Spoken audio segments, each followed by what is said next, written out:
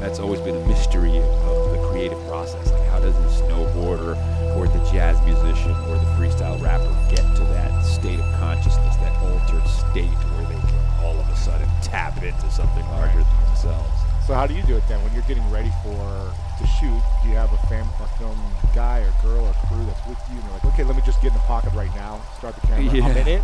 Or is it Yeah. like more like I'm in the pocket, get the camera, like I'm ready, let's Sure. Well, I, I when I initially started doing these videos is because part of what I do in my free time, part of what's interesting to me is to chase experiences that put me in the zone, put me in the flow, because that's when I'm at my most engaged. That's when I'm inspired. That's when I can be actually present um, and silence that kind of anxious inner critic or neurotic inner Woody Allen that's like worried about the future or melancholic for the past.